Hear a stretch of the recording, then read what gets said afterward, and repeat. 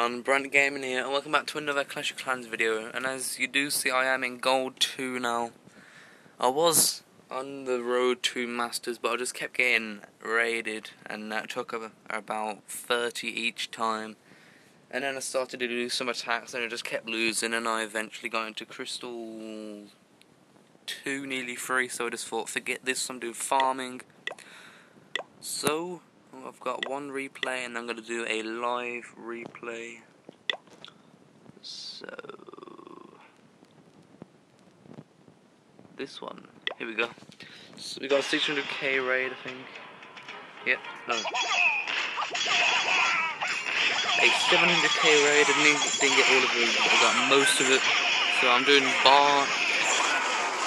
Just, just get picking off the collectors, as many as I could, so let's do this a bit. So already I've got 150k gold and 100k elixir. There's quite a lot left. Just very good at the minute, so that's 61 archers left. Uh, a few collectors, just got two at the top now. And then that is all that I get from this raid, I believe. So yeah, there we go. There, that is minus 16 cups, but 300k gold and 300k elixir. So I will be back with the live attack of 110 minions. See you then.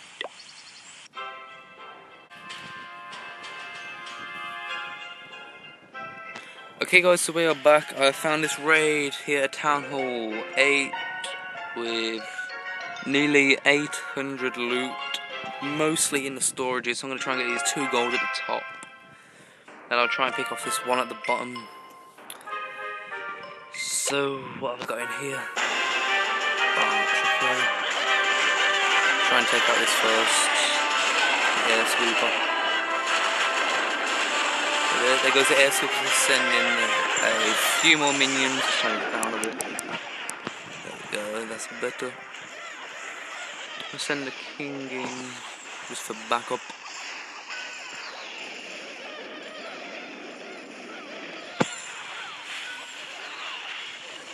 Okay, so I've got one storage, let's try and get the next one.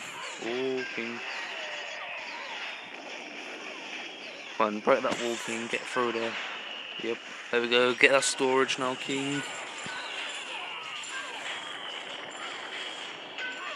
One king, you nearly got it, nearly got it. Okay, so we basically got two, two out of three of the gold storages, so don't even need elixir, so let's attack them down here.